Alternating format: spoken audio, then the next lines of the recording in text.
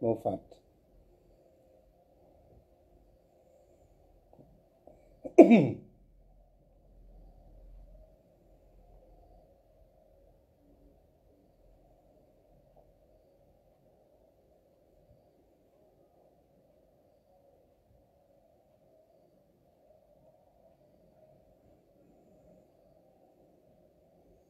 Hôm nay là cái buổi gần cuối năm.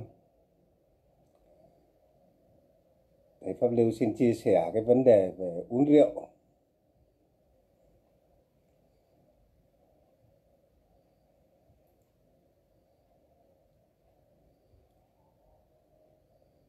Nay xin chia sẻ cái vấn đề tại sao phật, đức phật lại đề ra cái giới cấm là khuyên giáo dân là không nên uống rượu.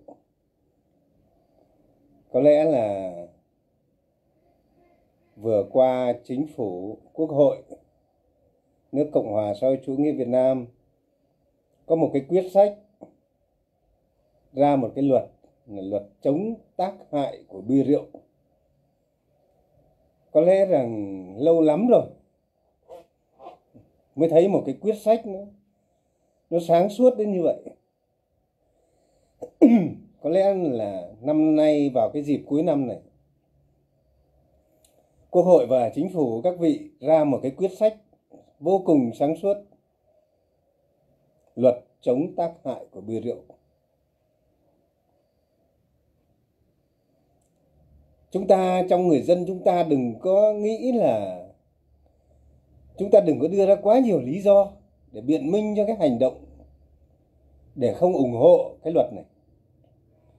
Có rất nhiều vị học giả thì nói rằng nhiều cái vấn đề lắm. Nhiều cái vấn đề là nào là chống bia rượu thì bây giờ những cái xử phạt như thế nào rồi? Nó sẽ xảy ra vấn đề gì rồi? Những cái vấn đề gì nó gây ra xáo trộn xã hội? Các vị nghĩ như vậy là các vị nghĩ hẹp hòi. Còn đối với thầy pháp lưu thì đây là một cái quyết sách vô cùng tuyệt vời, vô cùng sáng suốt. Nó đem đến một cái lợi ích cho dân tộc chúng ta. Nó đưa dân tộc chúng ta trở thành một dân tộc hưng thịnh an ổn, bình an. Và nó nó đưa đến một cái triết lý của đạo Phật tuyệt vời. Hôm nay thầy pháp lưu xin chia sẻ cái cái giới luật của Đức Phật, giới cư sĩ thứ năm, không nên uống rượu. Cho chúng ta thấy rằng trí tuệ Phật nó lớn, nó nó hay như thế nào, nó đạo đức nó làm sao tu giới luật chính là rèn đạo đức. Có rèn được đạo đức thì cuộc sống mới có hạnh phúc.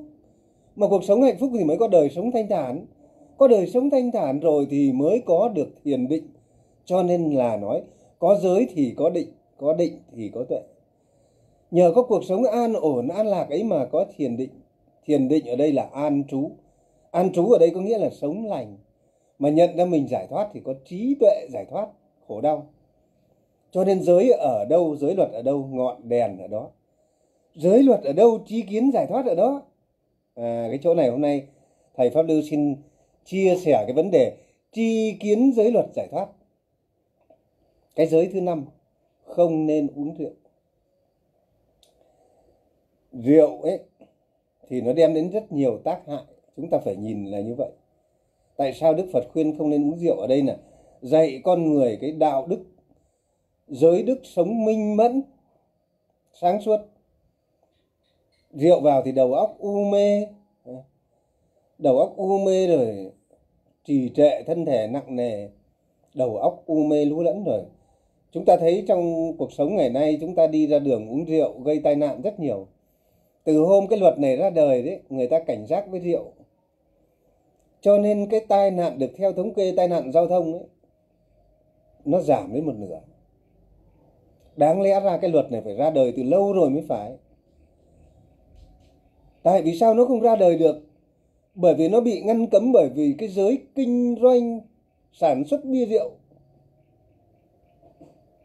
rồi những người làm du lịch, người ta vin vào đó. Tí nữa tại sao thầy pháp lưu nói là tại sao không cần rượu mà vẫn du lịch phát triển? Cho nên ở đây chúng ta là là là viên vào cái cớ đó vì cái lợi ích, cái túi tiền của những người ông chủ của bia rượu, sản xuất bia rượu. Rơi vào một số tiền của một số người có lợi ích, chứ người dân không được lợi gì hết. Được vài cái đồng thu thuế của mấy vị kinh doanh bia rượu này thì cái tiền mà chi cho y tế này, chi cho bệnh viện này, chi cho tai nạn giao thông này, chi cho bao nhiêu mất mát của xã hội này, nó chỉ bằng không bù đắp nổi một phần mười cái gánh nặng cho xã hội. Rượu vào thì u, mê, lú, lẫn đầu óc rồi sinh ra thì tai nạn giao thông thì không nói rồi, một vấn đề rồi. Nhưng nó sinh ra hung bạo, nó sinh ra những cái vấn đề xã hội chúng ta thấy, những cái vụ án giết người là do uống rượu. Hiếp dâm rượu vào thì dâm dục nổi, nó cũng loạn dâm, cũng sinh ra hiếp dâm, sinh ra tai nạn, sinh ra tội phạm, sinh ra sự giết giết chóc lẫn nhau. Rồi nó rượu vào, nó sinh ra bạo lực gia đình, những ông chồng rượu chè về. Mất tỉnh táo rồi chửi bới vợ con rồi đánh đập vợ con. Nó sinh ra bất hòa gia đình, bất an trong gia đình. Nó gánh theo nhiều gánh nặng. Rồi uống rượu vào thì bệnh tật sinh ra. Bệnh tật thì chúng ta biết là uống rượu là một những bệnh căn nguyên nguy hiểm nhất cho phổi này, cho thận này, cho gan này ngày nay chúng ta nhậu nhẹt nhiều. Chúng ta biết cái thời trước ấy chúng ta ăn uống kham khổ. Nó rất ít bệnh tật. Ngày xưa cái thời trước đây cách đây hai chục năm thôi ba chục năm thôi. Chúng ta thấy cả một cái xã đấy có một cái bệnh một cái trạm y tế mà còn vắng bóng khách vắng bóng bệnh nhân.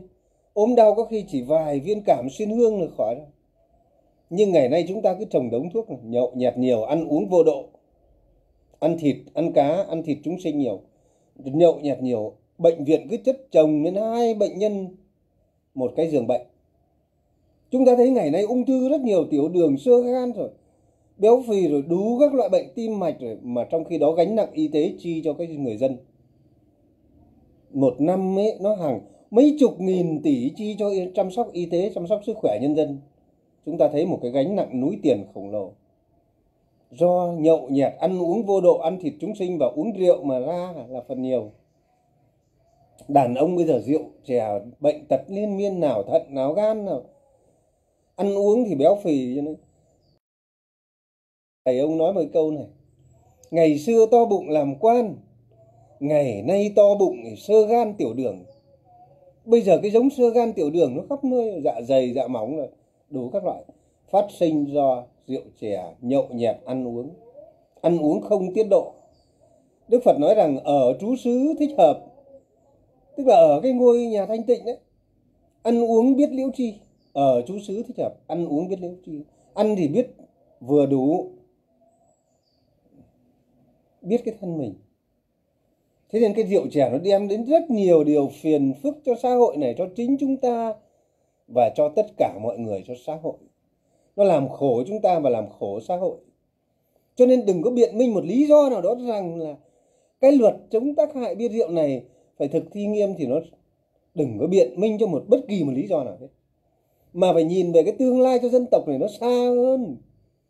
Nhìn về cái hạnh phúc của dân tộc này vì cái sự hưng thịnh, vì sự bình yên của dân tộc này, cái con mắt của chúng ta nhìn nó phải xa hơn rất nhiều. Nó phải trí tuệ hơn rất nhiều.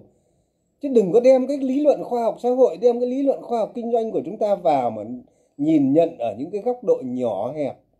Đấy không phải là một nhà khoa học chân chính những nhà khoa học mà còn biện minh chứ những nhà nghiên cứu xã hội mà còn biện minh cho cái việc uống rượu ấy, là những cái nhà khoa học vớ vẩn.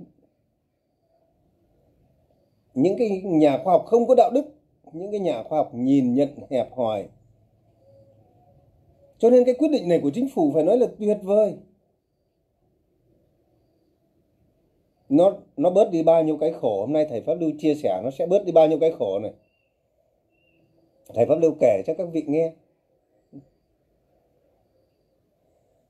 Ngay cái khổ thứ nhất là cái khổ ở công sở nhà nước. Thầy pháp lưu đếm từ từ từ trên vua quan cho đến dân nghèo nó khổ vì rượu nó làm sao? Cái khổ đầu tiên là dưới công chức nhà nước. Ngày xưa ấy, thầy pháp lưu làm lãnh đạo đơn vị. Không ai muốn uống rượu đâu nhưng cái văn hóa uống rượu nó tiêm nhiễm vào chúng ta khó sửa. Cơ quan nhà nước người ta ra cái văn hóa không uống rượu trong giờ làm việc. Thế nhưng vì cái văn hóa này nó cứ xâm nhiễm vào chúng ta nhậu từ xưa tới nay rồi.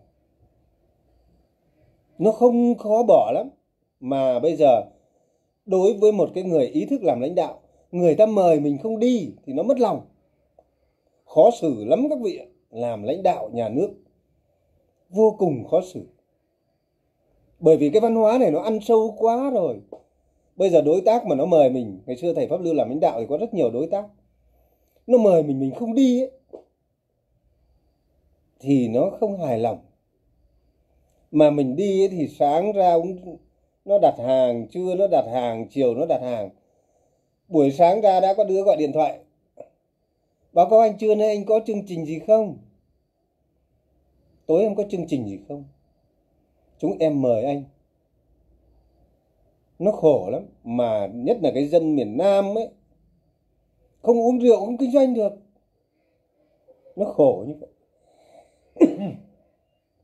Nó đem đến cho chúng ta, cái văn hóa này phải dần được cỡ bỏ. Bằng cái việc đầu tiên được phạt thật nặng những ông nào. Uống rượu đi xe, lái xe.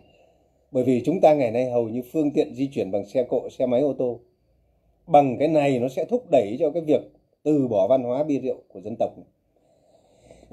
một cái quốc gia nghèo như chúng ta, mà từ vua quan cho đến dân nghèo lao động, một năm chi hết mấy tỷ đô la cho nhậu nhạt uống rượu bia. Trong khi đó, chúng ta là một đất nước còn nghèo. Đây là một cái mà chúng ta phải nhìn nhận nó dài hơn vài đồng tiền thuế thu từ bia, bia rượu không ăn thua gì hết. So với vài tỷ đô la kia chi phí. Đấy là còn chưa kể đấy là chi cho rượu bia uống nhé. còn chưa chỉ kể cho chi mất chăm sóc sức khỏe. Chưa kể chi cho tai nạn khắc phục tai nạn. Thế cho nên một trong công sở nhà nước nó khổ lắm. Thế mà không muốn làm lãnh đạo không muốn đi uống rượu đâu mệt lắm sáng ra mà. Nghe nó mời làm biểu trưa mình biết mình bị tra tấn rồi.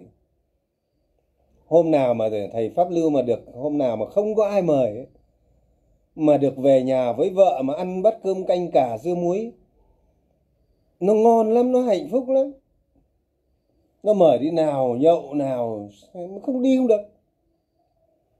Thế rồi người ta nói rằng cái ông hàn phi tử thời trung quốc ông nói rằng vua quan trên dưới ngày đánh nhau trăm trận. Nó mời nhau đi chỉ vì đối đãi với nhau mà thôi. Thời nào cũng vậy, kể cả mỹ cũng vậy, chứ không phải riêng việt nam. Mời nhau đi con người ta chỉ sống đối đãi với nhau. Chứ còn về cái việc quyền lợi thì ai cũng phải lo. Cho nên cái việc mà uống rượu nó cũng chỉ là đối đãi, chén chú trên anh nó cũng chỉ là đối đãi. Nhưng khi xâm phạm đến quyền lợi của nhau, thì hết anh em. Còn bạc, còn tiền, còn đệ tứ, hết cơm, hết rượu, hết ông tôi.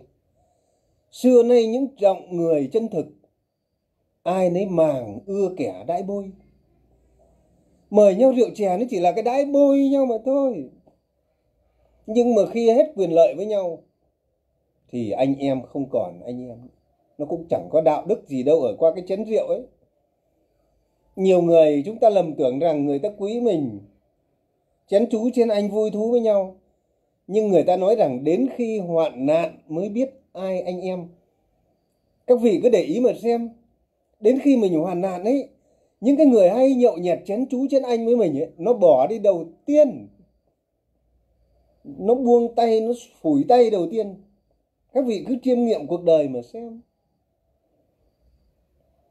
Thì hôm nay chén chú trên anh đấy vui lắm, mình cứ tưởng là nó quý mình lắm. Nhưng mà khi mình hoạn nạn, mình không lo thân mình mình ốm đau đó, mình mất việc làm đó, rồi mình rối loạn gia đình đó, rồi mình mất danh, mất lợi đó, những cái người hay mời mình nhất đó, nó sẽ bỏ mình đầu tiên thế cho nên cái ông, ông người ta mới nói cái câu thánh nhân mới nói là gì? Còn bạc còn tiền còn đệ tử hết cơm hết rượu hết ông tôi. Xưa nay những trọng người chân thực sống chân thực nó khác. Ai nấy màng ưa kẻ đái bôi đái bôi với nhau vài cái chén rượu giao tiếp. Thế cho nên ở công sở đôi khi công ty rồi nhỉ cơ quan nhà nước đôi khi cái văn hóa rượu bia nó cũng làm khổ cho chính từ lãnh đạo. Nhân viên thì hôm nay tổ chức liên hoan, nhân viên người ta bận, người ta không muốn đi đâu. Không muốn đi đâu. Mệt lắm, nhưng mà gì? Bây giờ cơ quan nó thế rồi. Không đi không được. Đi như tra tấn. Nếu ai làm quan chức, ai làm công chức, cái văn hóa bia rượu nó ăn sâu ấy chúng ta mới hiểu rằng đây thầy pháp lưu nói nghiêm túc nhé, thầy pháp lưu là người trong cuộc. Mới hiểu rằng đi uống rượu trong trốn quan chức, công chức, công ty không khác gì tra tấn, hành hạ. Cho nên ai muốn đâu mệt lắm cứ phải đi. Không đi không được, cái văn hóa này, nó vin vào cái cơ đó. Cho nên phải sửa dần nhân cái tiện chính phủ ra luật này, mới lại cái văn hóa cấm uống bia rượu trong giờ làm việc nhân tiện sửa. Bỏ bỏ đi nó hay lắm. Đâm ra cơ quan nhà nước sống minh mẫn. Bây giờ, ngày xưa thầy pháp lưu làm lãnh đạo khổ nhất là khổ cái anh văn phòng. Cái anh tránh văn phòng ấy. Anh cấp dưới ấy. cuối năm là anh ấy phải mấy anh anh anh trưởng phòng tài vụ, cuối năm là phải lo này bây giờ tiết kiệm là từ tiền giấy, tiền sinh tiền ờ, công tác phí, tiền ờ, chi tiêu họp hành, để làm gì? Để cuối năm làm sao cho anh em có bữa liên hoan. Nó khổ lắm. Cái anh chắn văn phòng, cuối năm làm sao có có tiền để tiếp khách. Tiệc tùng tiếp khách, tiếp đối tác. Cho nên trên làm khổ, dưới dưới làm khổ, trên rồi đối tác làm khổ nhau, rồi anh em làm khổ nhau. Cái tiền mà chi cho anh em công đoàn ấy tết tư tiền thưởng ấy thì cái đấy nó quan trọng hơn. Nó được về quê nó có thêm đồng, tết về nó có thêm chút tiền mua sắm, thêm chút tiền cho vợ, cho con. Thêm cái chút tiền mừng tuổi nó tốt hơn nhiều. Bỏ được cái nhậu trong cơ quan công sở là cơ quan đó hạnh phúc, trọn vẹn. Thế rồi đi uống rượu nó khổ lắm các con ạ. Các vị cũng biết đi uống rượu nó khổ ngày xưa thầy pháp lưu đi hay làm mà đi uống rượu mà về nhà mình phải cẩn thận đến mức này. Phải ghi ra giấy xem hôm nay mình nói cái gì, nhỡ mình nói rượu, uống rượu và nói sai. Mà nói sai ấy, nó đưa đến cái khổ là nó sẽ vi phạm nguyên tắc làm việc. Mà nói sai nó sẽ mất uy tín. Cho nên phải ghi ra giấy xem hôm sau mình đối chiếu lại xem. Hôm qua mình nói cái gì sai hay không? Nó khổ đến mức như vậy. Cho nên bỏ được rượu là cái rất tốt cho chúng ta. Thế rồi bệnh tật vào người ngày xưa thầy pháp lưu suốt ngày nó mời đi ăn đi uống không đi không được mà biết bao nhiêu cân các vị biết không? Thầy pháp lưu trông như thế này mà thầy pháp lưu 97 cân. Trời ơi gần một tạ thịt đi lại lặt lẻ. Mà cái chú lái xe chú, chú khổ mỗi lần đi xem nào mà lãnh đạo mà ra là, là cái cửa xe nó còn chật nó khổ. Say rượu mà nó phải dìu là nó khổ chứ chứ thấy bà nhà nó.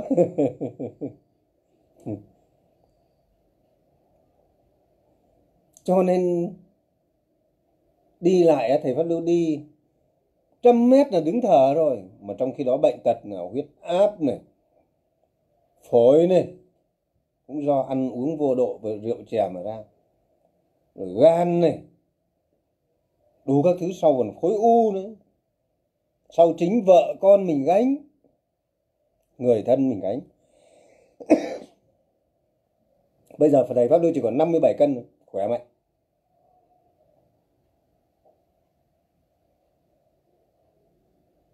Tu giới luật nó sướng như thế đấy. Không uống rượu nó sướng thế đấy. giới luật ở đâu? Trí tuệ ở đó, giới luật ở đâu? Tri kiến ở đó. Tự mình rèn mình, đưa mình vào giới luật. Sống thanh tịnh. Giải thoát ngay liền chỗ đó. Thế rồi, mấy cái anh nông dân, chúng ta vào miền Nam, thấy người dân miền Nam, nhậu tới nhậu lui trong khi đó cái nhà, cái cửa thì lụp xa lụp sụp. Con cái thì học hành không có tiền. Ông bố thì nhậu tới ngày, nhậu tới bên lè nhè, xong rồi bệnh tật. Nó khổ lắm. Đây là tự rước cái khổ vào mình.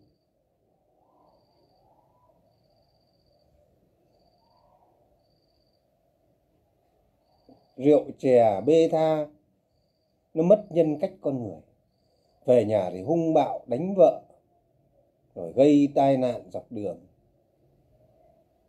Thế rồi, cái giới thương nhân làm ăn cũng phải lo tiền chi đãi rượu tiếp khách.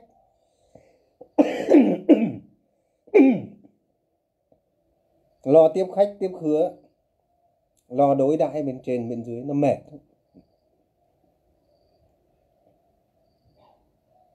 Cho nên, bỏ được cái rượu, nhân cái việc không uống rượu khi tham gia giao thông này, bỏ quách luôn cái rượu đi cho nó xong. Anh em từ cơ quan công sở cho đến gì? Dân nghèo, dân lao động, cho đến người thương nhân buôn bán, cho đến công nhân, cho đến giáo chức, ném quách cái rượu đi cho nó xong. Ném rượu đi ấy, cuộc sống nó hạnh phúc lắm thân thể nó nhẹ nhàng, mình ăn uống tiết độ rồi sống thanh bạch. Cuộc sống nó vui lắm. Vợ con nó đỡ phàn nàn. Ngày xưa thầy pháp lưu bỏ rượu là bỏ vì sao? Hôm đấy ngồi, tự dưng mình ngồi. Có sáu ông uống rượu. Hôm đấy mình lại đau bụng mình không uống. Năm ông uống năm ông uống thì sáu bà vợ ngồi canh cái mâm rượu các ông. Đêm thì muộn rồi năm ông ngồi lè nha lè nhè. Nói một câu chưa xong nó nói hết chuyện này chuyện kia. Nó đứng lên nó không đứng trong nó lè nhè xong. Ờ, nó ngồi đó xong mấy bà vợ chờ để dọn mâm. Nhìn mấy bà vợ khổ quá ngồi xì xèo với nhau. Chán quá nhìn mấy ông rượu chè thì đi ra đi vào chào ba lần chưa về tự nhiên thầy pháp lưu nhìn năm cái thằng uống rượu bạn mình kia sao nhìn nó, nó, nó chán vô cùng. Đến mình là đàn ông mà mình không say mình nhìn mình nó còn chán như thế. Thì thử hỏi phụ nữ nó yêu làm sao được? Nó hạnh phúc làm sao được khi phải lấy được những người chồng như thế? Từ hôm đó thầy pháp lưu suy nghĩ và thầy pháp lưu quyết định bỏ rượu. ngày xưa thầy pháp lưu chơi sang lắm. Rượu á đằng sau xe ô tô lúc nào phải có một kiện Hennessy. Đi đâu cũng phải có chỗ mà nhậu, ha. Cho nên rượu chè nó sinh ra những cái thứ mình thấy nó nó tự nhiên, nó chẳng ra hồn con người. Không ai yêu nổi mình cho nên phụ nữ họ cam chịu, họ chịu đựng lấy ông những ông chồng về. Đêm ngủ thì mùi rượu nồng nặc, cái mùi rượu ấy, các vị không biết đâu. Có lần thầy pháp lưu ngồi cạnh cái ông mà uống rượu say ấy, cái mùi nó phả ra, trong dạ dày, trong hơi thở. Nó quay vào mặt mình mà mình không thể nào mình ngửi nổi được. Vắt buồn nôn ấy. trên cái xe ô tô ấy. Đúng rồi, con bật lên cho thầy trên cái xe ô tô mà đi một chuyến xe ô tô mà tự dưng xuất hiện một cái ông say rượu vào. Trên máy bay ấy, nhìn nó, nó mùi nó người khác buồn nôn luôn. Một cái con người kinh tởm đang ngồi bên cạnh mình. Trời ơi. Cho nên nó ghê lắm. Người đến đến cái người phụ nữ người ta ngủ đêm với mình vợ chồng với nhau người ta phải cố gắng cắn răng chịu đựng thôi chứ nó ngồi nằm cạnh cái ông say rượu ông chồng về mùi nồng nồng nặc. Trời ơi, hạnh phúc ở đâu chả thấy. Chắc nó phải đeo khẩu trang nó ngủ. Ghê tởm, nó ợ ra xong rồi, thậm chí nó còn nôn ra nhà nó. Hết nước luôn. Từ đó thầy pháp lưu nghĩ đến, bỏ rượu luôn. Kinh thấy bà luôn. Mình là đàn ông, mình còn tởm đấy. Mình còn sợ thế, thì huống gì phụ nữ người ta yêu mình sao được đây? Cuộc sống gia đình sao có hạnh phúc được đây? Con cái ông bố, bế con quay ra toàn mùi rượu. Cho nên nó khổ lắm. Hôm rồi có thầy có học trò. Học trò trên trên trên cục an ninh điều tra của bộ công an đấy nhé chứ không phải học trò, cái học trò là cái khác. Cái cô học trò thầy làm làm ở trên cục an ninh điều tra bộ công an. Cô ấy khóc cô với thầy, cô ấy bảo trời ơi, thầy ơi, chồng con đi uống rượu chè suốt ngày, bỏ bê gia đình con nghĩ cuộc đời nó cơ cực quá. Con không biết làm sao được thầy ạ. Bảo thôi con con cắn răng mà chịu đựng đi. Trót lấy phải chồng như thế, cắn răng mà chịu đựng đi bao giờ già mà răng nó rụng hết rồi nó không còn răng nữa thì mình mới không phải cắn răng chịu đựng con ạ. Lấy chấp nhận nó đã uống rượu thế đến già mình vẫn phải sống với nó. Răng mình nó chờ nó rụng hết rồi thì không còn cắn răng nữa nhưng không phải chịu đựng nữa thôi. Một cái cái, cái chúng ta làm khổ nhau như vậy. Cho nên rất nhiều nhiều người kêu, khổ vì rượu, sung sướng gì đâu. Cho nên cái luật chống tác hại bia rượu này không chỉ riêng chống tác hại tai nạn giao thông đâu, chống tác hại về mặt sức khỏe, chống tác hại về mặt bạo lực, tội phạm, chống tác hại về cái mặt bất an, lo lắng, chống tác hại về cái việc gánh nặng cho xã hội y tế chăm sóc cho nên nó được lợi như thế cho một cái dân tộc này. Thế còn các vị nói không có rượu, không có du lịch, các vị nhầm to. Khi chúng ta biết phát triển văn hóa tốt, một đất nước văn minh, một đất nước môi trường xinh đẹp, thì chúng ta du lịch văn hóa. Chúng ta thấy rằng ngay đất nước indonesia là một đất nước đạo hồi.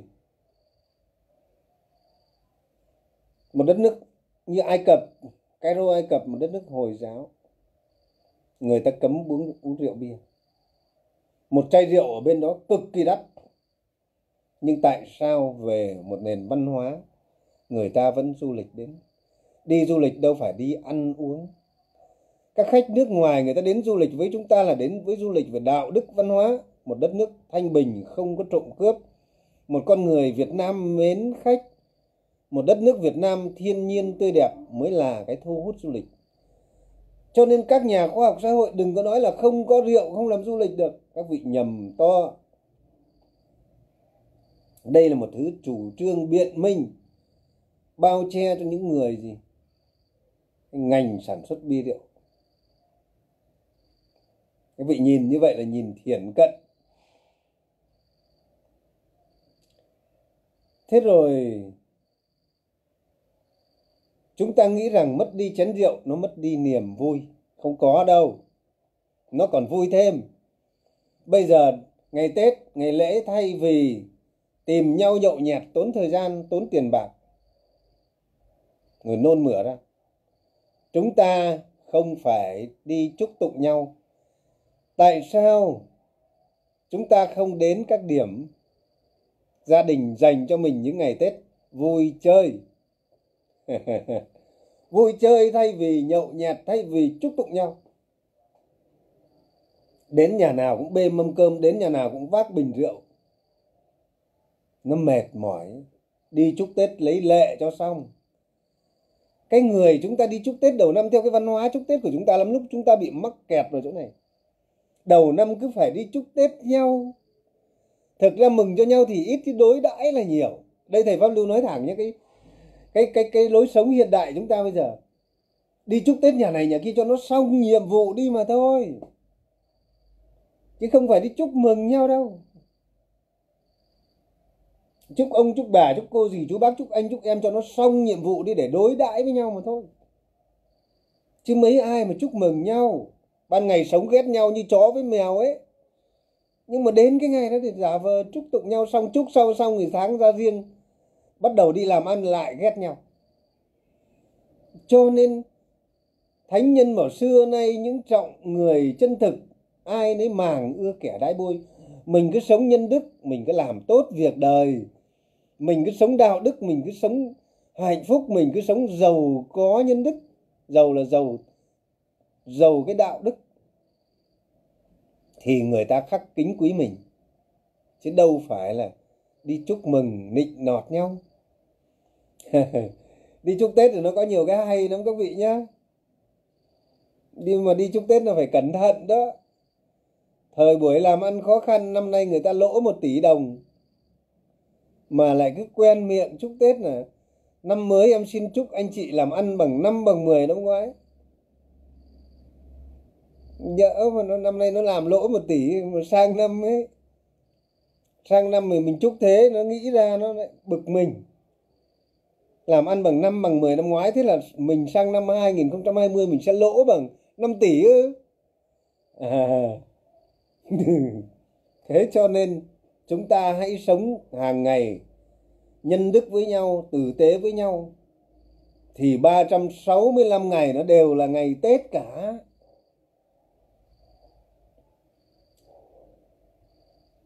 Không ngày nào có rượu trong người cả, thì vợ nó vui cả 365 ngày tiền sẽ dư ra. Một bữa nhậu hàng triệu đồng, nhà rẻ rẻ thì cũng phải trăm nghìn, hai trăm nghìn. Phí phạm đi làm được một ngày. Một cái ông lao động, một ông công nhân nó ngu đến cái mức này. nó ngu đến cái mức này. cày mặt ra đi làm thuê, làm mướn. Một ngày được hai trăm nghìn. Tối rủ bạn bè đi nhậu một trăm. Có khi trăm rưỡi, có khi hết hai trăm. Trong khi ngày mai lại tiếp tục cày để nhậu nhậu và cày ăn và nhậu và làm làm và ăn và nhậu cả cái kiếp đời con người, nó sống trong ngu si. Ở đây là cái tội ngu báo vì sống không có giới. Cho nên cái giới luật nhà phật nó hay, nó đạo đức như thế. Đừng có nói đạo phật là mê tín. Đạo phật mê tín là cái đạo phật của người trung quốc. Còn đạo phật của đức phật là giới luật là ngọn đèn có giới luật ở đâu, hạnh phúc, yên vui ngay đó. Cho nên từ già đến trẻ đều được an vui nhờ sống theo giới luật.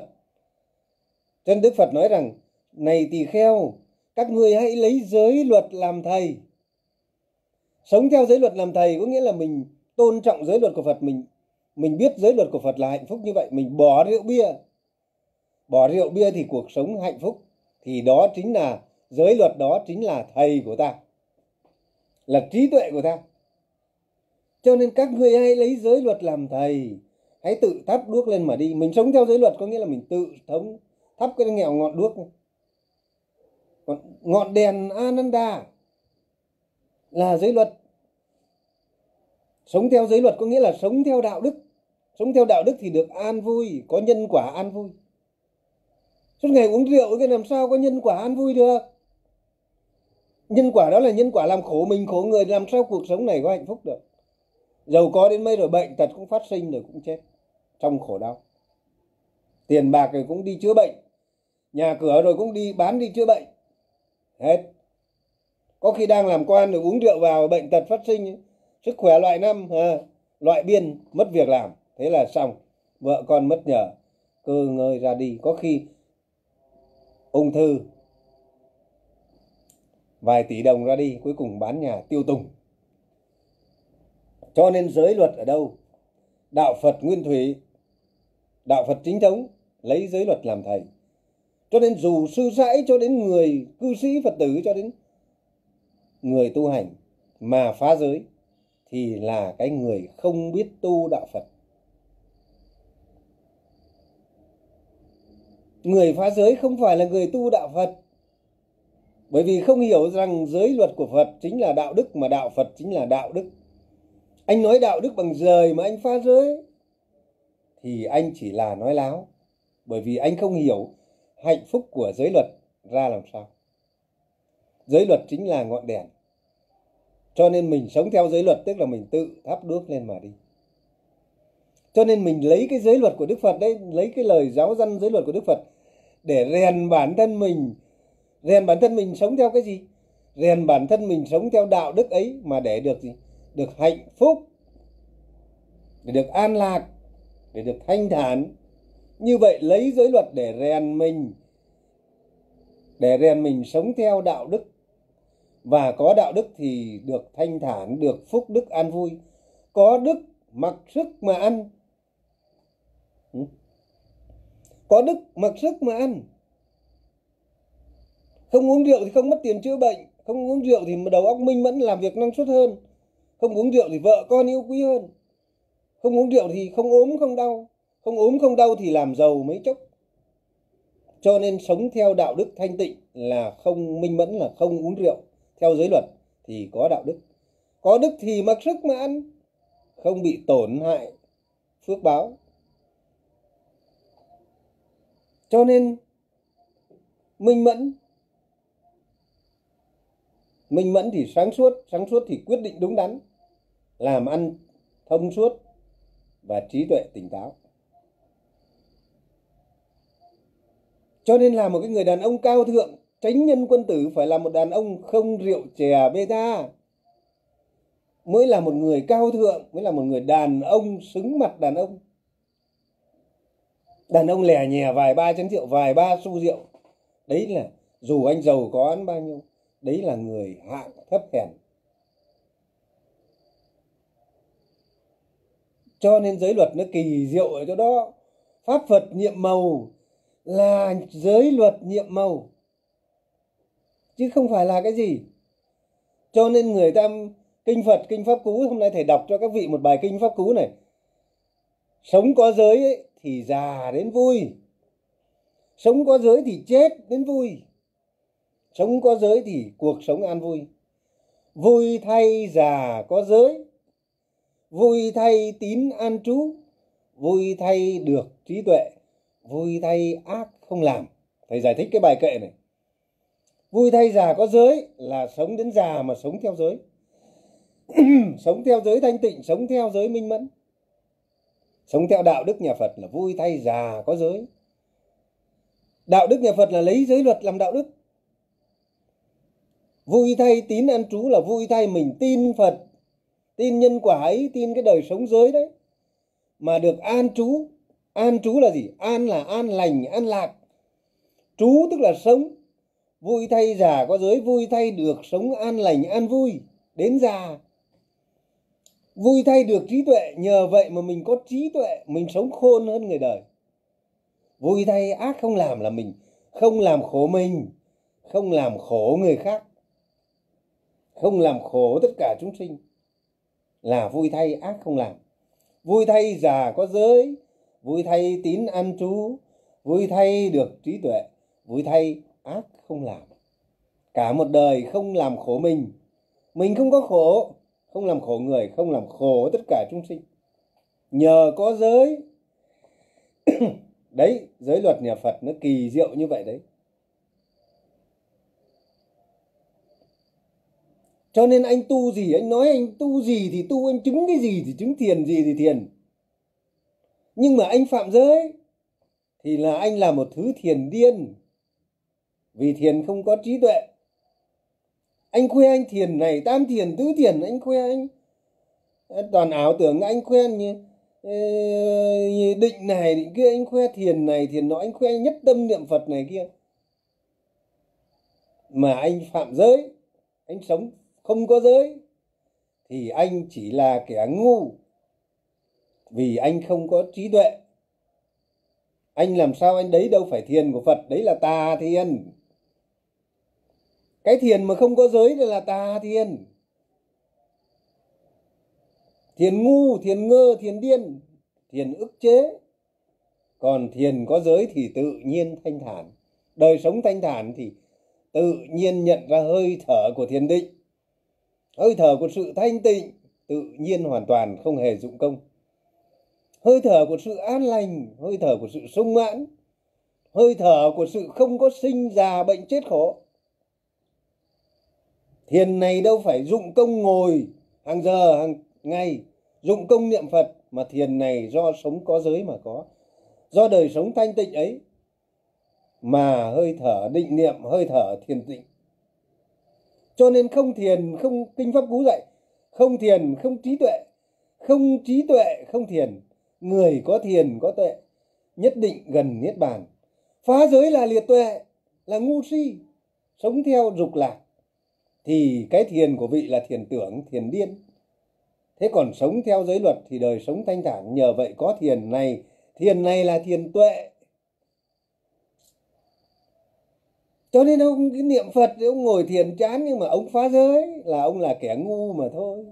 Ông đi uống rượu, ông đi sát sinh, ông đi dâm dục, ông tả dâm rồi lang trạ vợ chồng người ta. Ông đi, ông nói, láo nói hung ác rồi nói bịa đặt đặt điều theo diệt.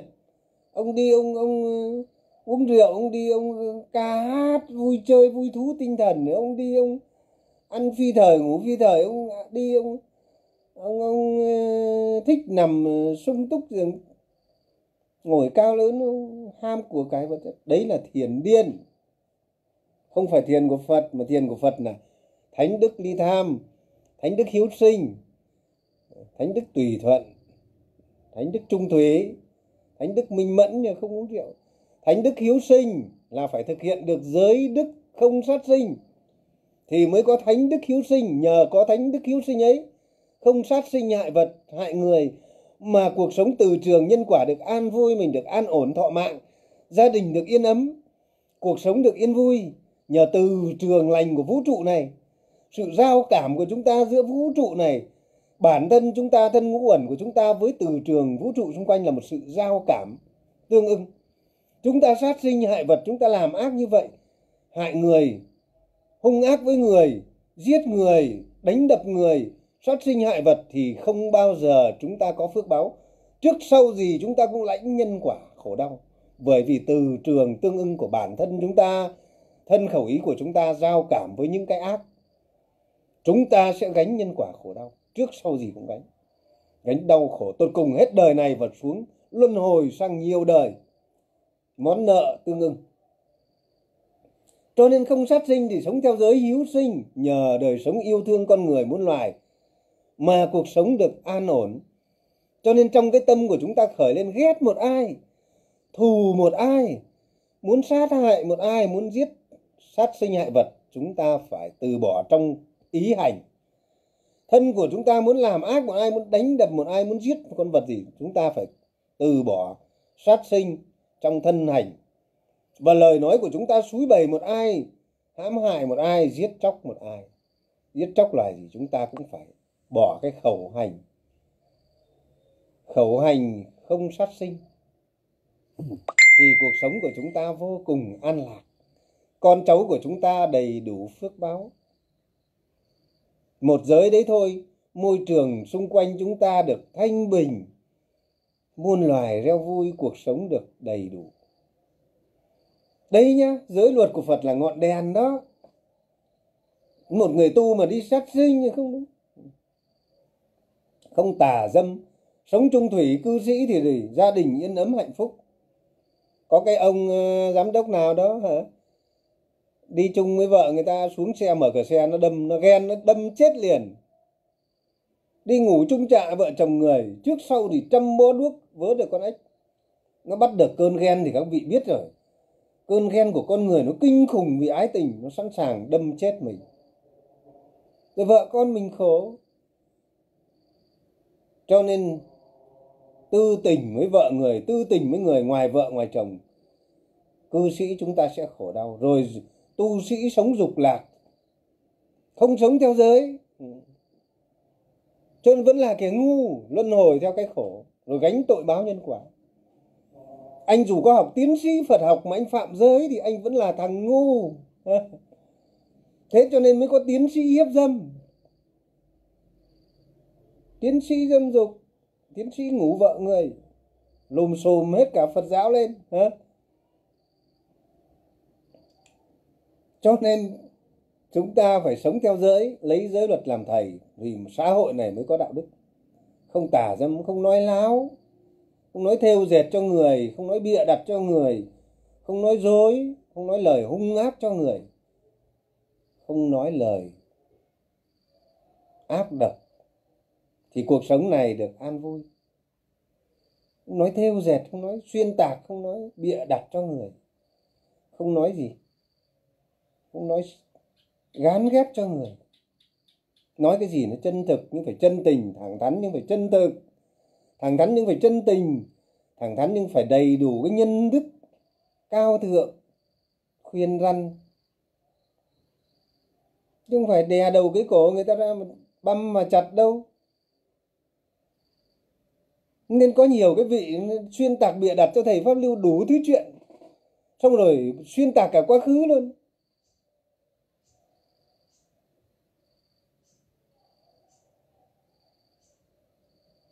Ngay cái chú thanh châu đi cả cái khu lộc cai ai lạ thì chú ấy, cả khu bắc giang ai lạ thì chú ấy. Chú bịa đặt cho thầy pháp lưu đủ thứ chuyện, gọi cho cái cô mỹ tâm ở trong tu viện ấy. cô mỹ tâm còn chưa biết thầy là ai, còn chưa gặp mặt thầy bao giờ hai cô chú nói chuyện với nhau xong, chú thanh châu về nhà thầy đúng một lần. Chú bảo thầy bán hết nhà cửa này mất hết cái thứ, mất đâu mà mất. Cái thời đấy thầy vẫn còn đang làm quan. Thầy ở nhà chị thầy, trông nom các cháu. Để cho chị thầy đi tu.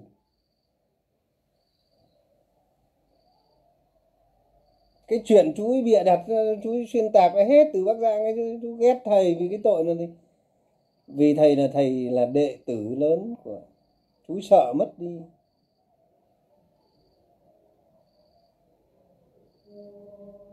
Cho nên cái việc gắn ghép cho người là chú ấy, đáng thương chứ thầy văn lưu đâu có trách thất là thương cho chú ấy với cô cái cô kia.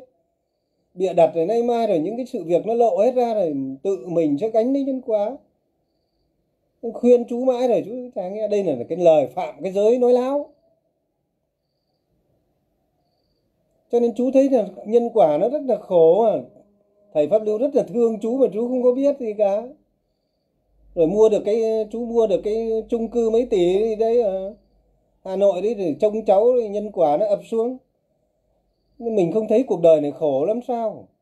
Cháu nó rơi xuống nó chết. Rồi hay sao đấy? Thầy pháp lưu nghe nói như thế thôi chứ cũng chưa dám khẳng định gì, nhưng mà cháu nó chết rồi, gia đình loạn lên rồi, chú buồn, chú khổ, ra khổ gia đình. Cái nhân cái quả mình sống sống có đức thì có phúc có phúc thì cũng có đức có đức thì có phúc. Sao phải khổ thế? Sao phải sống nhỏ nhen thế? Cho nên mình bỏ đi thì cuộc sống nó bớt khổ đau. Không nói láo. Không nói dối, không nói bịa đặt xuyên tạc cho ai, không đặt điều cho ai hết à. Không có ghét bỏ ai hết à rồi không gì không lấy của, không cho không tham gia làm giành giật trộm cướp của người. Có tranh giành của người, giành giật của người. Nó khổ lắm. Mình được cái này thì trả nhân quả gấp 10 lần. Rồi không uống rượu. Những cái giới cư sĩ như vậy nó đem cho chúng ta một cuộc sống tuyệt vời. Ở làng thầy pháp lưu đây tất cả mọi người tu sinh cho đến thầy trò, ở làng thầy pháp lưu 10 giới sa di trọn vẹn làng này 10 giới sa di trọn vẹn à thế cho nên ai về làng thầy pháp lưu? Về cái ngôi làng của thập giới này nó tuyệt vời lắm, các mọi người không biết đâu. Như một chốn thiên đàng thôi. Tăng đoàn chân như ra đây vô số rồi. Các thầy học trò cũ của trường lão ra đây vô số rồi. Nhiều rồi. Khắp nơi các thầy đến đây thăm rồi, viếng rồi. Học trò bốn phương về đây đều biết cái làng nguyên thủy của thầy pháp lưu, dân chúng xung quanh đấy tán tán yêu mến. Đến lúc cái chính quyền người ta cũng phải ghi nhận cái công lao của mình, xây dựng cái miền quê tốt đẹp như thế này. Nhờ thầy trò thập giới, từ trường của thập giới. Ai ở đây thầy trò đoàn kết yên vui, cuộc sống ở đây không còn không ai muốn về các vị ạ. Đến đây còn không ai muốn về, trò về, còn lưu luyến không muốn về cuộc sống ở đây chim chóc reo vui, cây cối xanh tươi, bởi vì từ trường lành, từ con người ta giao cảm. Đến chó trong làng còn không sủa một tiếng vui vẻ đi. Bà con thì hiền lành, trẻ con ra đường chào hỏi. Rồi tu sinh trong làng yên lặng, mấy chục con người mà im mà không một tiếng động. Đấy, thầy pháp lưu ngồi giữa làng tu. Tất cả một không gian. Im phăng phát rồi mọi người, cuộc sống yên tĩnh rồi ai thì việc nấy, ai làm việc nấy không tranh việc với ai. Cuộc sống tu sinh, thầy trò lẫn nhau, sống hòa ái, sáu điều phật dạy. Không ai tranh cãi giáo luận với ai, cũng không ai lý thuyết với ai, cũng không có ai bàn luận việc nọ, việc kia, tham lam. Cũng không có ai làm khổ ai. Cuộc sống ở đây là không có ai làm khổ ai. Có vài cái người mới đến chưa hiểu thì làm náo loạn lên, so đo này kia thôi, chứ còn thầy trò đây lâu rồi thầy trò ở đây lâu, thầy trò với nhau rồi, cuộc sống rất là an vui, thanh thản vô cùng. Cho nên chúng ta không có hiểu, giới luật là ngọn đèn. Trưởng lão chỉ ra, nguyên nhân mất đoàn kết là do phá giới. Nó sống không có đạo đức, vì phá giới cho nên tâm không hết tham, sống không có đạo đức. Mà không có đạo đức thì con người ta sống không hết tham sân si không hết tham sân si thì không bao giờ sống tử tế được với nhau. Con người chỉ sống tử tế được với nhau khi con người hết tham sân si. Cho nên các vị về đây đấy, thấy làng thầy pháp lưu, trăm người đi chăng nữa thầy trò, ai cũng hiền như cục đất. Gặp nhau lặng lẽ hoan hỉ chào nhau. Vui vẻ lặng lẽ bước đi, ai làm việc nấy không tranh nhau việc của ai đến bữa thì mỗi người một cái bát đến xin cơm và đi về. Không đi xin cơm bên ngoài làng thì xin cơm trong nhà bếp và đi về. Chỉ có thấy đến bữa là thấy nhà bếp đông mấy chục người, nhưng bình thường thì không thấy ai. Đi tìm người này, người kia nói chuyện. Ai làm việc đấy ai cũng chăm chỉ cái việc của mình. Sống an vui vô cùng. Thầy pháp lưu không hề nói sai đâu thầy pháp lưu nói, trước mặt bàn dân thiên hạ đây thì có hàng trăm học trò, nghe cả rồi. Nên nên trưởng lão bảo, đạo đức nhân bản nhân quả, giới luật ở đâu? Đạo đức nhân bản nhân quả ở đó. Thế gian này sẽ trở thành thiên đàng cực lạc. Các vị trở về làng nguyên thủy, thầy pháp lưu, sau 3 năm thầy pháp lưu và các trò xây dựng, nó có đúng là thiên đàng cực lạc ở thế gian, như là lời trưởng lão thích thông lạc nói không? Trong cái tu viện chân như, các vị còn bè phái cãi nhau. Còn ồn ào, còn nói ra, nói vào thế này thế kia, còn hiềm hận nhau, còn bè phái, còn nói thế này kia. Ở làng thầy pháp lưu không một lời. Không một lời. Làng thầy pháp lưu đây không có ai rỗi hơi đi tranh cãi với ai. Mà không không có ai tụ tập hội họp làm cái gì cả. Không có ai kính thưa, kính gửi làm cái gì cả không có ai bày đặt cái chuyện đứng tổ chức cái gì hết 365 ngày tâm bất động trước các ác pháp và cảm thọ là 365 ngày thầy trò thầy Pháp Lưu kỷ niệm ngày trưởng lão nhập Niết Bản. Sao phải tổ chức? Sao thầy Pháp Lưu phải tổ chức lễ kỷ niệm trưởng lão đây? Trưởng lão nói rằng bao giờ tâm các con bất động thì các con đang ở bên thầy. Thế bây giờ hàng thầy trò, thầy Pháp Lưu tâm đều bất động thanh thản an lạc vô sự. Sống đều thanh thản an lạc vô sự, bất động trước các cảm thọ và ác pháp, như trưởng lão nói. Thì 365 ngày trong năm đang ở bên trưởng lão cả với nhau rồi. Sao phải kỷ niệm lễ trưởng lão làm cái chi?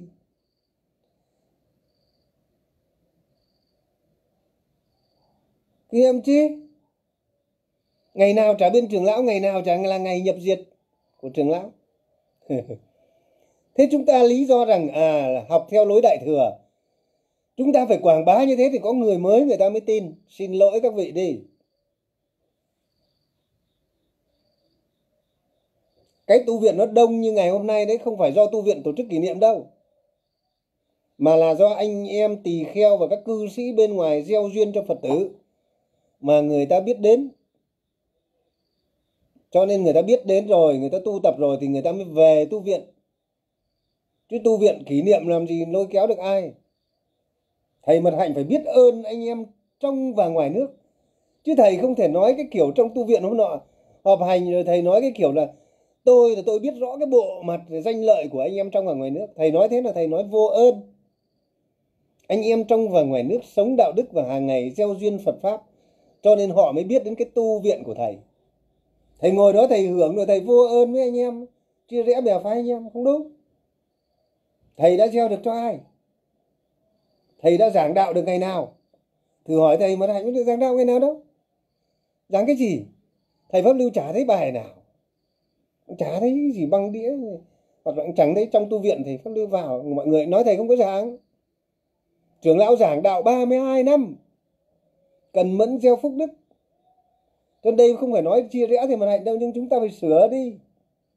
Cùng nhau sửa cho nó đúng đi, làm cho tốt nên đâu cũng đẹp, tu viện cũng đẹp, trong cũng đẹp, ngoài cũng đẹp. Ngoài nó đẹp như làng thầy pháp lưu đây. Trong tu viện nó cũng phải đẹp, chứ nó không phải lộn xộn như thế được. Đến bên ngoài nó đẹp hơn bên trong, người thầy nói bên bên ngoài bộ mặt thế nào? Bộ mặt ông pháp lưu làm sao? Bộ mặt của mấy ông bên ngoài làm sao? Mấy ông bên ngoài vẫn đi khất thực thầy nguyên trung vẫn à, cụ gia hạnh thì vẫn hàng ngày ẩn cư trên núi. Cụ giác thức thì hàng ngày giáo hóa dân chúng. Thầy nguyên trung cụ thầy nguyên trung thì hàng ngày vẫn cái gốc cây làm nhà vẫn đi khất thực. Mấy ông thầy nhà chúng ta thì vẫn đi, đi giao giảng phật pháp. Thế bộ mặt trong và ngoài nước mà thầy mật hạnh nói là ai? Chứ thầy nói như thế là không được rồi bên ngoài người ta sống có giới cả. Thầy đừng có lầm tưởng. Thế cho nên thầy phải xem là mình đã có giới hay chưa? Giới không cất giữ tài sản tiền bạc thầy đã giữ, giữ hay chưa? Cho nên thầy còn giữ cái xe ô tô thì phải xả đi nó mới tu chứng được chứ. Sống sạch, sạch trắng như bò bạch ốc chứ. Giới luật là ngọn đèn mà cho nên chúng ta phải ở đây, chúng ta phải hiểu ở đây không phải nói hiềm hận nhau đâu, mà ở đây là nói trong bàn dân thiên hạ, cái gì sai chúng ta phải công khai nhận lỗi. Một cái người dũng cảm, các vị ạ, một cái người dũng cảm là một cái người phải công khai nhận ra lỗi lầm của mình và sửa, mình sửa để cho người khác học theo. Thầy pháp lưu 3 năm trước đây sai vô số ở ngã mạn rồi, sai rồi, bày trò rồi, láo tét cả sau thầy pháp lưu xin lỗi hết tất cả mọi người. Và vừa rồi, năm nào nói chuyện thầy pháp lưu cũng xin lỗi mọi người. Và để mọi người là đừng học theo cái sai cũ của tôi. Phải làm cái việc thiết thực, sống thiết thực. Đừng sống theo cái sai của tôi cũ. Đấy, chúng ta mới là dũng cảm. Chúng ta cứ che cái lỗi lầm, khuyết điểm chúng ta đi trong khi đó. Chúng ta nói người này, người kia không đúng. Cho nên ở đây là giới luật ở đâu hôm nay thầy pháp lưu nói lại giới luật ở đâu ngọn đèn ở đó? Giới luật ở đâu an vui ngay đó? Giới luật ở đâu hạnh phúc ở đó? Cho nên hãy sống hạnh phúc như ngôi làng nguyên thủy của thầy pháp lưu này. Thế gian này nó thành thiên đàng cực lạc. Không phải thiên đàng cực lạc, các vị cứ về mà xem. Thậm chí các vị bước chân về đây từ trường lành, nó đã đủ cho các vị may mắn rồi. Ăn một bữa cơm với thầy pháp lưu với các trò đấy thôi hoặc đến đây thăm hỏi thôi. Đã cảm nhận tương ưng từ trường lành, mà trở về nhà nó đã đủ may mắn rồi đó. Bởi vì sao may mắn? Bởi vì sao cuộc sống chuyển hóa nghiệp duyên? Bởi vì tương ưng. Đức phật bảo tương ưng thì hút nhau, nó tương ưng với từ trường lành. Sống trong từ trường lành một ngày nó được tương ưng, một chốc lát nó được tương ưng. Tương ưng thì hút điều lành đến, sự việc lành đến. Cho nên nhân quả chuyển hóa nghiệp duyên cho nên đức phật nói, nhân quả có thể chuyển được, nhờ tương ưng tương ưng thì hút nhau. Chứ không phải ông thật, thầy pháp lưu không ban. Không ai ban cho mà các vị tương ưng. Cho nên hàng tháng phải thọ bát quan trai giới một ngày để trường lão bảo thọ bát quan trai giới, để cái từ trường lành ấy nó không bao giờ mất đi. Nó theo chúng ta suốt cuộc đời, nó tương ưng. Tương ưng thì hút nhau. Tương ưng hút nhau với cái điều lành. Trong từ trường vũ trụ này thế cho nên ai sống trong làng tu một tuần về nhà cuộc sống khác ngay. Thầy pháp lưu không hề nói sai à? Hầu hết các trò đến đây, sống trong làng tu một 10 ngày 7 ngày, ba bốn ngày về cuộc sống thay đổi dần, thay đổi dần. Cuộc sống hạnh phúc dần, hạnh phúc dần. Những cái sâu ác nó hết dần hết dần. Cái điều ác nó vơi dần. Thế cho nên các vị cứ nói ngược, nói xuôi. Ai bỏ làng thầy pháp lưu ra đi phỉ báng quay ngược lại. Thầy pháp lưu và hỏi tất cả các học trò làng tu, chưa thấy mà ai được hạnh phúc hết? Toàn gánh nhân quả khổ đau hết. Vì ra khỏi từ trường tương ưng. Cho nên trưởng lão nói rằng, ngày xưa có những người người ta tương ưng, có cái duyên tương ưng với thầy. Nay họ đã hết duyên tương ưng. Vì họ bỏ đi, quay lại phỉ bác. Gánh lấy nhân quả vì xa rời từ trường tương ưng những người phỉ báng rằng tôi bỏ đã đi, thầy pháp lưu chưa thấy một ai hạnh phúc hết. Còn thầy trò hàng trăm người vẫn hạnh phúc an vui. Cuộc sống dần tiến tới niết bàn. Gia đình bắt đầu chuyển hóa nhân duyên. Cho nên, có phước 10 đời 20 đời, may ra bước chân đến chỗ thầy pháp lưu. Đây thầy pháp lưu không ngã mạn nhé. Mới có cái sự tín tâm này. Chứ đừng có nghĩ rằng mình đã là ai. Chưa tới đâu. Trưởng lão có nói với mấy người nói lý luận nói ngược nói xuôi trưởng lão bảo giỏi hơn phật. Giỏi hơn thầy rồi đi đi. Giỏi hơn phật hơn thầy rồi đi đi xem có hạnh phúc không. Chỉ sợ vài hôm rồi vác cái dép rách này, vác cái khổ đau bệnh tật rồi đến mà cầu lại thôi. Có vài có đến hơn chục người quay lại cầu thầy pháp lưu vì khổ quá rồi trót đi rồi. Có những người còn xấu hổ, ngã mạn còn chưa muốn về, chưa dám quay về. Đi sai đường rơi rơi vào khổ đau nhân quả rồi còn chưa quay về đâu, vẫn còn ngã mạn. Nhưng khi nào nước đến chôn không kịp nhảy nữa. Cho nên cái việc đây, thầy pháp lưu không ngã mạn, mà thầy pháp lưu nói lời đúng đắn, thẳng thắn, nhưng nói ở đây cho tất cả các trò hiểu để các trò tự biết con đường của mình, tương ưng của mình, con đường sống của mình và nơi gì tu học của mình. Các vị cứ đến đây xem cái đời sống có đúng như trường lão thích trong lạc dạy không? Đúng như lời đức phật dạy không? Rồi nó có đúng là thiên đàng không? Đến để mà thấy, này tỳ kheo, pháp của ta không có thời gian đến để mà thấy. Các vị cứ đi cầu mong làm cái chi, đến đây mà thấy. Nọ các tỳ kheo đến đây có những tỳ kheo cảm động quá, ngồi khóc đó. Các vị ngồi chính chỗ này với thầy pháp lưu, các vị cảm động, các vị ngồi khóc. Không ngờ rằng cuối cùng, chánh pháp mà lời trưởng lão thích trung lạc dạy, cũng có được một cái nơi như là mong ước của trưởng lão khi còn sống khi trưởng lão còn sống, ngài mong ước như vậy. Thiên đàng cực lạc ở thế gian như vậy. Mà nay nó lại thành hiện thực giữa đời thật như thế này. Các vị tỳ kheo các vị mừng rơi hai ba vị đấy. Mừng rơi nước mắt ngồi khóc. Cảm động. Cho nên, ở đây là những cái vị tỳ kheo người ta người ta có hiếu với trưởng lão người ta biết ơn trưởng lão, người ta kính trọng trưởng lão và người ta mong muốn điều lành, thì người ta mới cảm động. Người ta mới mới mới biết yêu quý điều lành nơi thầy pháp lưu như vậy. Còn những cái người ngã mạn thì không muốn không muốn cho cái làng nguyên thủy thầy pháp lưu hơn. Vì sao không muốn hơn? Vì sao thì xúi người phỉ báng? Vì sao xúi người chửi bới thầy pháp lưu? Bởi vì sao? Không muốn cho thầy pháp lưu hơn, sợ thầy pháp lưu hơn, thì mình mất đi gì? Mất đi quyền lợi, mất đi gì? Cái danh. Sợ người ta thì tôi sẽ kính trọng ở đây mà người ta khinh bỉ mình. Đấy là những cái con người hèn yếu, những con người không làm nên cái điều gì cho đời.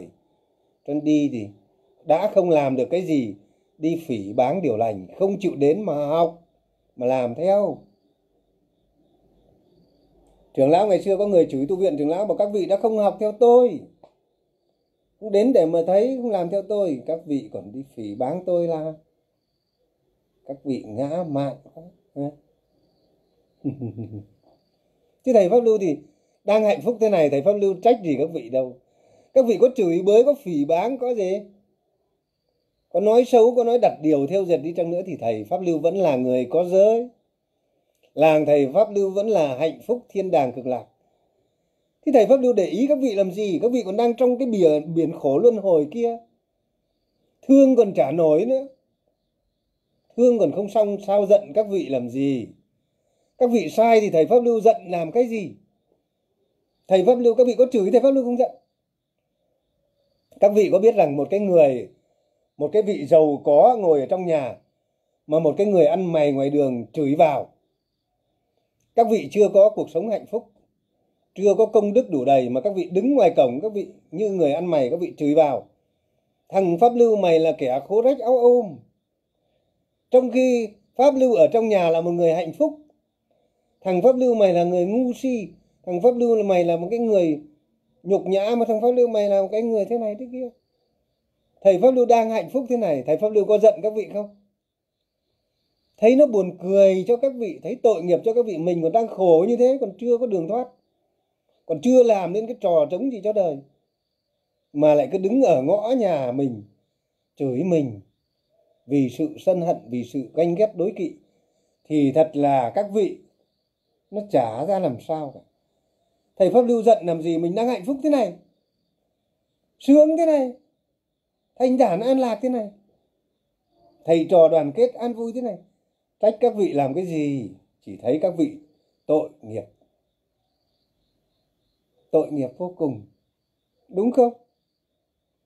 Bây giờ một, nó nó giống như một cái ông, một cái ông đại gia giàu có. Với một người ăn mày đứng ngoài cổng chửi ông đại gia, mày là đồ khố rách áo ôm. Cái ông đại gia ông có tức không?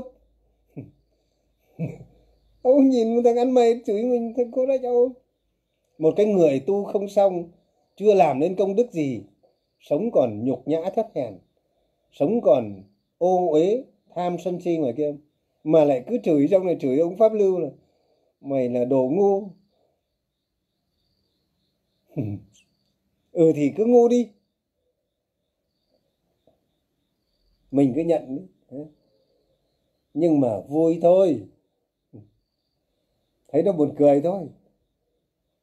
Thấy nó hài hước và thấy tha thứ dễ dàng cho cái người đang kia mình hết ngu rồi. Mình biết cái ngu của mình xưa kia rồi. Người ngu biết mình ngu trở thành người có trí rồi. Mình loại hết cái ngu rồi. Mình biết cái ngu của mình, ngày xưa mình cũng ngu như nó. Bây giờ mình hết ngu rồi. Ngày xưa mình nhận ra cái ngu thì mình hết ngu rồi. Bây giờ nó vẫn còn ngu. Thế cho nên ở đây là đức phật bảo đứng lên, đứng núi cao trí tuệ tu, cái người tu được rồi, hạnh phúc công đức đủ đầy.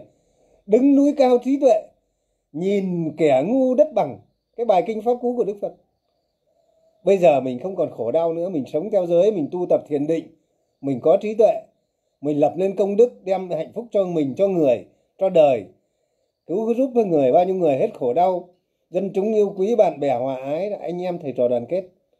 Lập nên công đức lớn rồi. Cũng như bài kinh pháp cú đức phật dạy, đứng núi cao trí tuệ, nhìn kẻ ngu đất bằng, nhìn xuống thấy người ta quá khổ, thấy thật là đáng thương. Đáng thương hơn đáng trách nhé. Đức phật nói kẻ ngu là tức là thương thương mà mắng mà trách, để cho mà tính.